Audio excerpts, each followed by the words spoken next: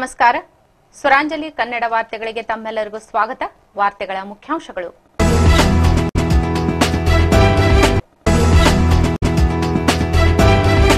ಕಳೆದ ವಾರದ ತುಲನೆಯಲ್ಲಿ ಈ ಬಾರಿ ಈರುಳ್ಳಿಯ ಬೆಲೆಯಲ್ಲಿ ಹೆಚ್ಚಳ, ಆವಕ ಕಡಿಮೆ ಇರುವುದರಿಂದ ಬೆಲೆ ಮಾತ್ರ ಹೆಚ್ಚಾಗುತ್ತಿದೆ.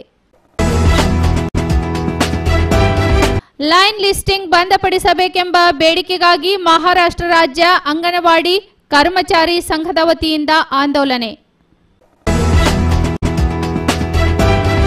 ಮಳಿಗೆಗಳ ಲೀಲಾವನ್ನು ತಡೆಗಟ್ಟಲಿಕ್ಕಾಗಿ ಜುಲೈ ಹನ್ನೆರಡರಂದು ಸೋಲಾಪುರ್ ಬಂದ್.